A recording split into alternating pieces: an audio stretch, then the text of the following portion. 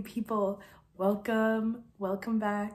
Today I have a really exciting video because we are going to talk about self-care and I am going to show you a self-care ritual that I don't think you'll find anywhere else. Ah, mocha, I love mocha. In this ritual, we are going to mesh parts work, magic, energy working, writing as forms of self-care. And it is super easy. All you need is yourself, your body, your hands, and your writing utensil. I feel like writing by hand has that kind of mental help as well. But if you prefer to type or writing on your phone is more accessible, then by all means, do what works for you. So for this self-care ritual, we are going to connect with the part that needs the care, the part that needs that healing that you're coming to a self-care ritual for. This could be the perfectionist part. This could be the anxiety part. This could be an obsessive thoughts part. This could be the not good enough, feeling not good enough, not worthy part. It can be a wide variety of things. First step is addressing why you are here, why you are burnt out in need of that extra medicine, that extra self-care. And we are going to specifically work with that part. It can be more than one part, so go ahead and do this for all the parts that are coming up for you at the time. Sometimes this is easier said than done, like figuring out what parts are showing up, especially if you've been detached for a long time, like I was, and you know, recognizing what's showing up is even hard. Then I would just say, do the meditation, do the writing, like do this ritual, see what comes up. And that could be like any sort of vague feeling as well. It doesn't need to be a specific part connect with them. Let me take you through this. So once you kind of acknowledge what feeling you're connecting to, what ideas are coming up and things like that, let's try to connect more to that part. So we are going to close our eyes, you know, try to sit up straight and breathe deeper.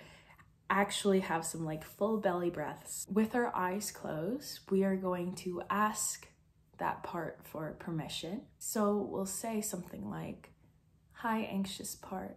I am hoping to connect with you. Is that okay? Or may I connect with you? Can I connect with you? Is that okay with you? So if you get that yes, uh, go ahead and connect. If you get that no, that also could be a part. Maybe ask that fearful part or wherever that no is coming from. Ask that part, oh, is it okay if you step aside and I can connect with this part. If all of these are leading to a no, that is completely okay. Skip this step and go to the next step. You can definitely do this without the parts work at the beginning. I just find it enhances everything, the self-care part, a lot more when you know what part needs your care. Going back to the parts work, let's say you get your permission, right? Then you connect with that part. You say, okay, part, I am connecting with you now. Please share with me what you need to share, what you want me to know. And then you listen, you see what comes up for you, you thank that part. Oh, also something I love doing is wherever I'm feeling this part, because it's always manifests as physical feelings in the body. Um, if it's heaviness in my chest, I'll put my hands there and then I'll talk to the part and hold the part in that way.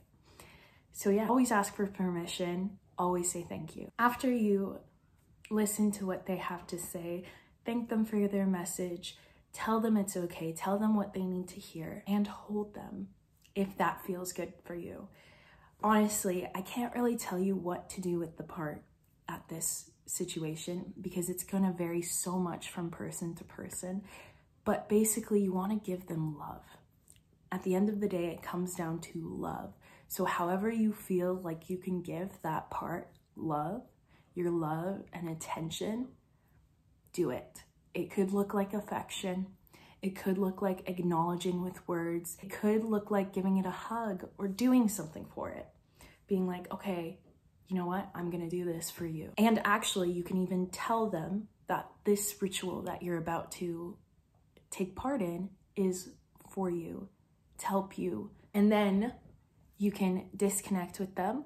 You can even tell them that you're going to visit again and to even join in on this ritual that you're doing to help them. If you do make a promise like speaking to that part again, make sure you keep that promise. Then we can go into the ritual after we've connected, acknowledged, and invited that part in and tell them you're doing this for them, for their healing, and to show them love and grace. And then the other part of the ritual, sometimes I like to add in a little candle, a little pink candle that I light, like a ritual candle, or any other altar candle if I'm doing it at the altar, which I definitely recommend doing it at a sacred space, space where you constantly work energy at so that it's just easier to get into these mindsets and get into the energy working. Basically, you're going to rub your palms together and build up energy. And you're gonna do this with so much love and compassion in your heart. So think of it from the heart space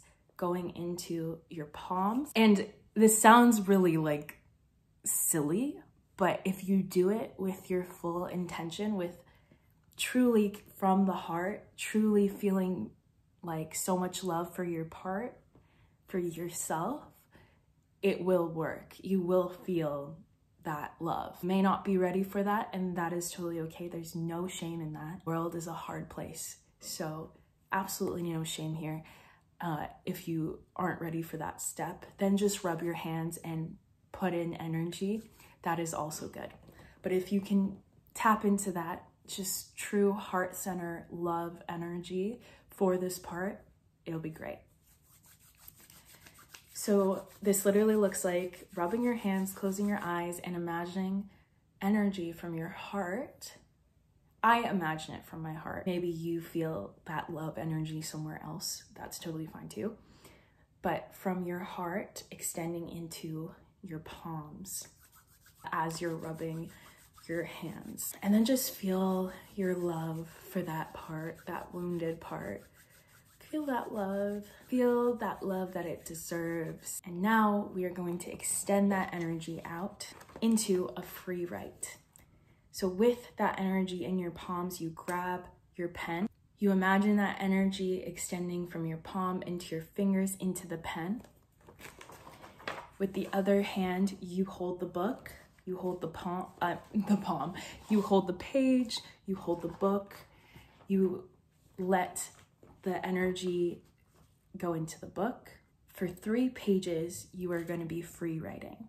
Also, I want to add, I do say three pages, but have grace with yourself if you're not in the space to write three pages. I know with myself, I have ADHD. Sometimes it's impossible, literally impossible to write that amount. And sometimes it is literally impossible to write less than three pages or not write over three pages. So very much depends on where you're at and how you're feeling. I just recommend three pages because I think it helps to get out of your head. If right now you're not at that capacity, remember this is a self-care ritual. We are giving ourselves grace and love. So do what feels right. This is not work. This is supposed to be an act of love. So always come back to what you need and what feels right for you. Now, the free write can look like a lot of things and all of those things are amazing. It could look like processing negative beliefs, negative emotions, negative experiences. It could look like having uh, divinatory downloads, like um, kind of divining in a way. It could look like the part just coming out and saying all its fears. It could look like just pouring love into this page for yourself for that part. It really can look like anything. If you're stuck, just start writing random words and let it flow out of you. Don't think too much. This is a free write just to see what comes out. And then afterwards, you can either burn these pa pages if it feels like pages to burn. If it feels like a love letter, if you feel like you want to keep it close, Maybe keep it, stash it somewhere special, put some herbs on it. This is where your own magic can come into it. You could put it in a manifestation box if that feels the most appropriate. Whatever comes out of the free write, do what feels right. And sometimes I even just leave it. And in my journals, as like sacred pages in the journals. Do what you need to to make this feel sacred and ritualistic, whether that's like dressing in a certain way or lighting those ritual candles, like I said, whatever you need to do to get into that. This is sacred and this is a ritual mind space. Beyond that, it is really simple. It's connecting with the part if that applies to you. If not, that's okay. Drawing energy of love into your palms extending that love onto the page and seeing what happens. And again, it doesn't have to be love energy, it could just be your own energy. It's a free write at the end of the day. That's all it is. But our goal is to process or figure something out, release something that needs to be released, while also specifically working with the part that needs this extra self love. Because at the end of the day, these whole self-love rituals and needing self-love, self-healing rituals, this badly shows how traumatic our lives are in this system and shows how much harm is being perpetuated and how much violence is being acted upon all of us because really the medicine is within us. There is always medicine outside of us to help us when we're really struggling, but it's not supposed to be like always needing to pour in love. It's supposed to just inherently be within us. So obviously, since we're not inherently feeling it within us, we need to pour that back in. We need to remind ourselves and talk to those wounded parts and pour it into them. So I hope that made sense. I hope you find this helpful please let me know if you try this out. I would love to hear how it goes. That is my self-care ritual for you.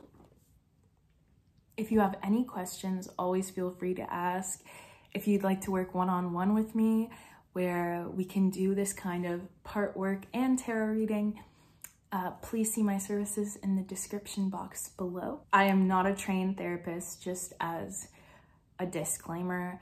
I've only had mentorship training before. I simply just do the things that I do here. Magical stuff, tarot readings, things like that. Though I am a deep, deep listener, I always have been. That is one of my superpowers, along with the ability to forgive, which comes from my deep listening. And, you know, sometimes through these writing sessions, we can even figure out those things that are our superpowers that we've been taught or weaknesses. I've always been told that the way I can forgive anyone is a big weakness. But I found it does come from just my ability to listen, to fully observe, and to know like deeper. It takes a lot of strength to forgive. That was a random little side note. but yeah, that's me. I'm I'm someone who's here to forgive and deeply listen and observe. So if that is of interest to you, I will leave my website below. I am offering $10 readings for a limited time. Any support there supports the channel and supports me. Thank you so much for any support. Thank you so much for watching. I wish you an amazing day and I will see you tomorrow.